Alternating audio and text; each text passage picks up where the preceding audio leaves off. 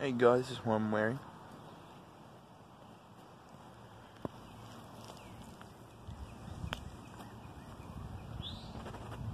Pretty cool, right?